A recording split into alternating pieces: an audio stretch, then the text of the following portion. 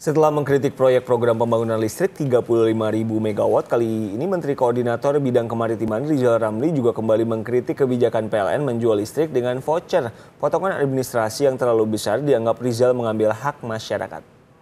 Mereka beli pulsa 100 ribu, ternyata listriknya hanya 73 ribu.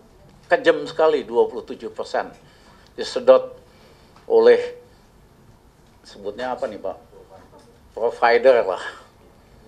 Provider yang setengah mafia gitu kali ya. Ya untungnya besar sekali mereka.